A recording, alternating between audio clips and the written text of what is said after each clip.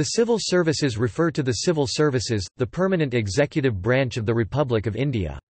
The civil service system is the backbone of the administrative machinery of the country. In the parliamentary democracy of India, the ultimate responsibility for running the administration rests with the elected representatives of the people, which are the ministers. But a handful of ministers cannot be expected to deal personally with the manifold problems of modern administration. Thus the ministers lay down the policy and it is for the civil servants to carry out this policy. The executive decisions are implemented by the Indian civil servants. The members of civil service serve at the pleasure of the President of India and Article 311 of the Constitution protects them from politically motivated or vindictive action. Civil servants are employees of the Government of India or of the states, however, not all employees of the government are civil servants. Civil servants in a personal capacity are paid from the civil list. Senior civil servants may be called to account by Parliament. As of year 2010, there were total 6.4 million government employees in India, and less than 50,000 civil servants to administer them. The civil service system in India is rank based and does not follow the tenets of the position based civil services. In 2015, the Government of India approved the formation of Indian Skill Development Service. Further, in 2016, the Government of India approved the formation of Indian Enterprise Development Service. History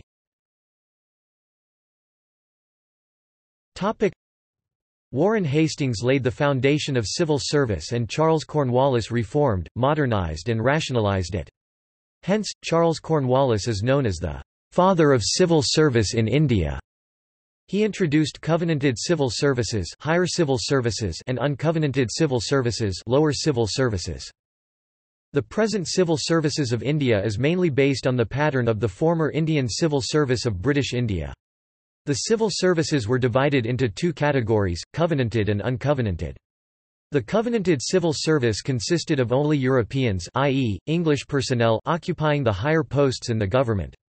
The uncovenanted civil service was solely introduced to facilitate the entry of Indians at the lower rung of the administration. With the passing of the Government of India Act 1919, the imperial services headed by the Secretary of State for India were split into two: All India Services and Central Services. The All India and Central Services Group A were designated as Central Superior Services as early as 1924.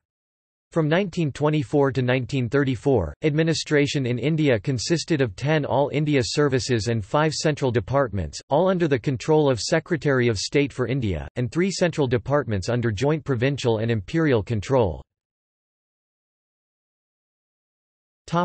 Modern era The present modern civil service was formed after the partition of India in 1947. It was Sardar Patel's vision that the civil service should strengthen cohesion and national unity. The values of integrity, impartiality, and merit remain the guiding principles of Indian civil services. By the early 21st century, Indian civil servants have been colloquially called babus, while Indian bureaucracy is called babudom, as in the rule of babus. Especially in Indian media, Ministry of Personnel, Public Grievances and Pensions located in New Delhi is and officially the Ministry of Civil Services in India. The ministry is responsible for training, reforms and pension for the civil service system in India. Topic: Constitutional provision for all India services the Constitution under Article 312 provides for all India civil services branches to be set up by giving the power to the Rajya Sabha upper house of the Parliament of India to resolve by a two-thirds majority to establish new All India services. The Indian Administrative Service, Indian Police Service and Indian Forest Service are set up under this constitutional provision. Power, purpose and responsibilities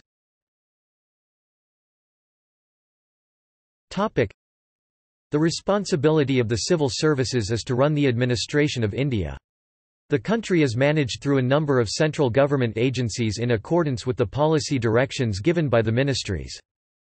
The members of the civil services are represented as administrators in the central government and state government, emissaries in the foreign missions, embassies, as tax collectors and revenue commissioners, as civil service commissioned police officers, as permanent representatives and employees in the United Nations and its agencies and as chairman, managing director, full-time functional director, member of the board of management of various public sector undertakings, enterprises, corporations, banks and financial institutions. Civil servants are employed to various agencies of India and can also be appointed as advisors or special duty officers or private secretaries to ministers of the Union and the state government. All appointments in the rank of Joint Secretary to Government of India and above, other major appointments, impanelment and extension of tenure is done by the Appointments Committee of the Cabinet.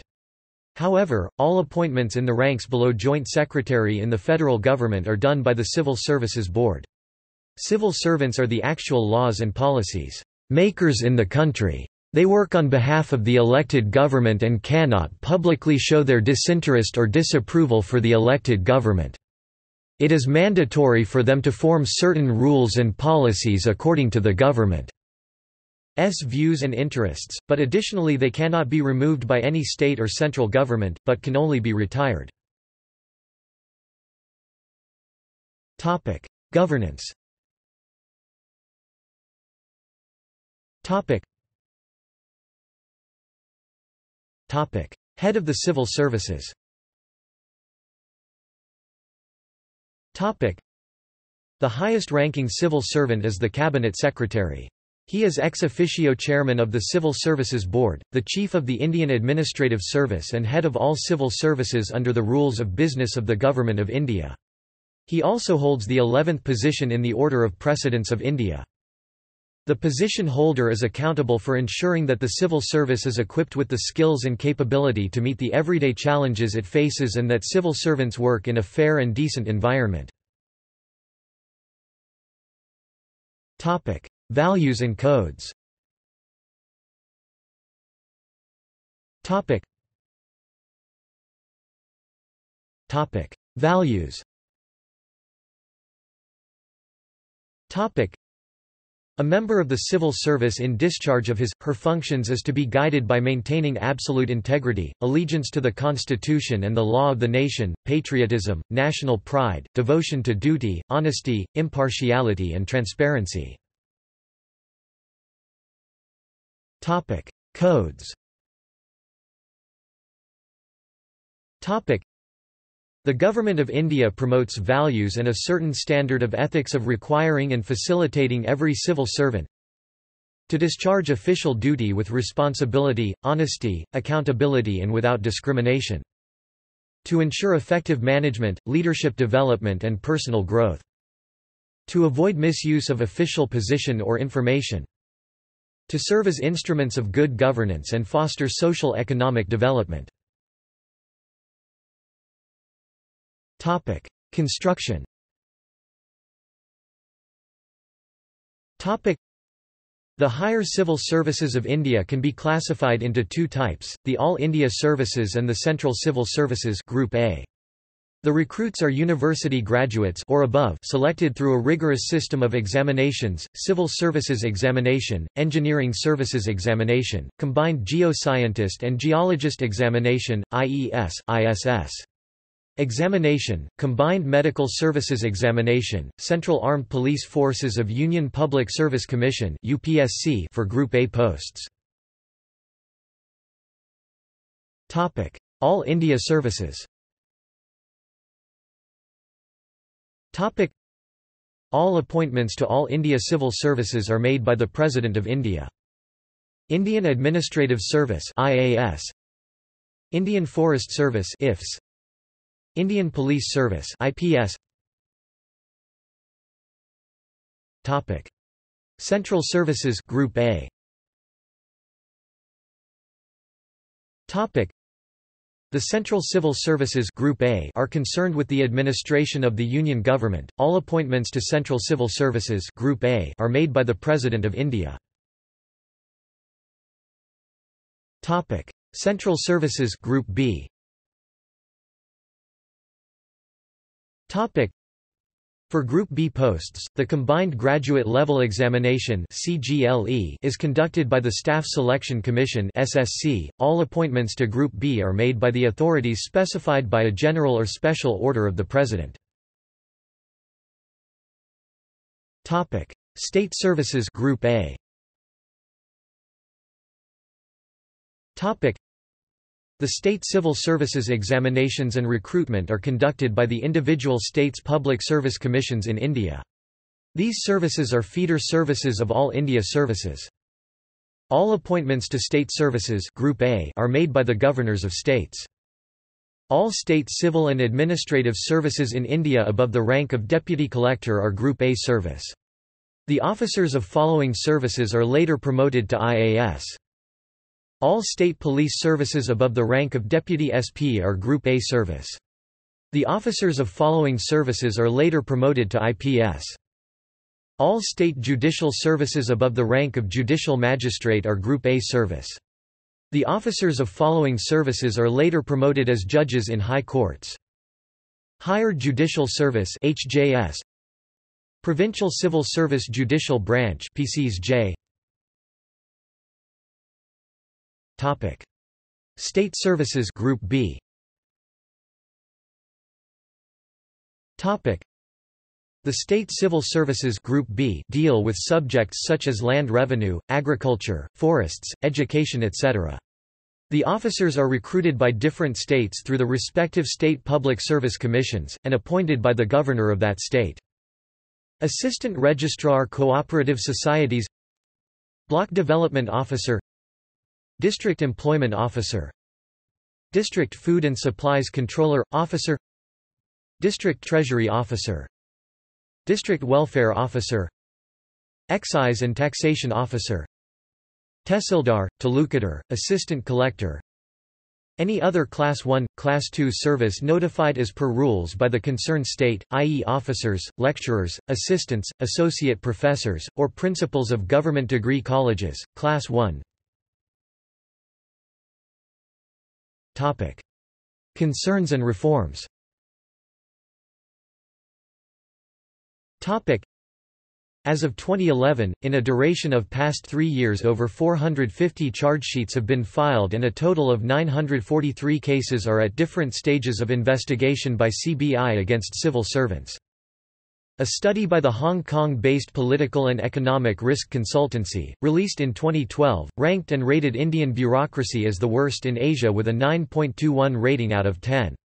According to the study, India's inefficient and corrupt bureaucracy was responsible for most of the complaints that business executive have about the country. A paper prepared in 2012 by the Ministry of Personnel, Public Grievances and Pensions states that corruption is prevalent at all levels in civil services and it is institutionalized. On the 28th of November 2011, the Department of Personnel and Training (DOPT) of the Ministry of Personnel, Public Grievances and Pensions created a proposal to retire and remove incompetent, inefficient and unproductive All India service officers after 15 years of service, instead of tolerating them until their retirement. Former Cabinet Secretary T.S.R. Subramanian welcomed this move with caution, saying, periodical weeding out is very good. But the process to determine who needs to be prematurely retired should be fair and transparent. There is a possibility that even good officers may be targeted because of political reasons. Former UPSC chairman P.C. Hoda echoed his sentiments remarking that, we need drastic remedies. The situation has become terrible. The other day an officer in Delhi was arrested for disproportionate assets of 31.5 million rupees.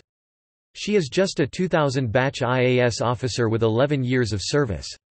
But at the same time, the office's service records should be analyzed before a decision against him was taken. The proposal has been accepted and Rule 16 of the All India Services Death Cum Retirement Benefits Rules of 1958 was amended on 31 January 2012. In October 2013, the Supreme Court of India, in the case of TSR Subramanian and ORS versus Union of India and ORS ordered both Government of India and state governments to ensure fixed tenure to civil servants. The court asked senior bureaucrats to write down the oral instructions from politicians so that a record would be kept of all the decisions. This judgment was seen on the similar lines of the Supreme Court's 2006 judgment in Prakash Singh case on police reforms. The judgment was welcomed by various bureaucrats and the media who hoped that it will help in giving freedom and independence to the functioning of bureaucracy. In 2016, the Ministry of Finance for the first time, dismissed 72 and prematurely retired another 33 Indian Revenue Service officers for non-performance and on disciplinary grounds. In 2016, it was reported that Government of India has decided to empower common man to seek prosecution of corrupt IAS officers.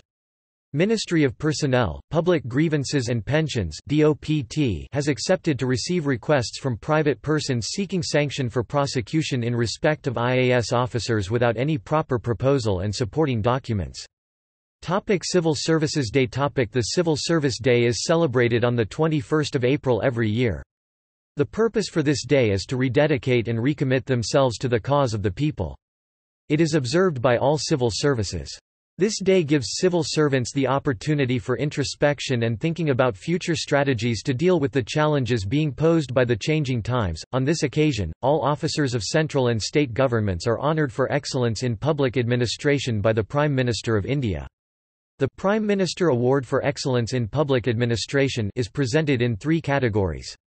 Under this scheme of awards instituted in 2006, all the officers individually or as group or as organization are eligible. The award includes a medal, scroll and a cash amount of 100,000 rupees $1,400.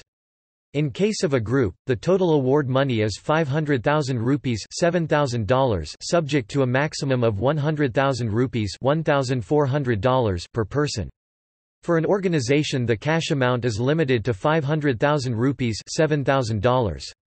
Topic see also topic Order of precedence of India topic References topic 50, UPSC Exam 2018 freejobs-alert.com topic External links topic topic Official topic UPSC Union Public Service Commission, India 7th Pay Commission Chief recommends one rank, one pension for GOVT employees by the Indian Express Prime Minister instructs DOPT for speedy impanelment of officers from all central services by the Times of India not only IAS, MHA opens doors for all services. The Week. Archived from the original on 8 January 2017. All India Civil Services The All India Services Conduct Rules of 1968 Central Civil Services Topic. The Central Civil Services Conduct Rules of 1964 Central Secretariat Manual of Office Procedure 14th edition by Ministry of Personnel, Public Grievances and Pensions Topic. Others Topic. Governance in India Civil service reform in India, problems and reforms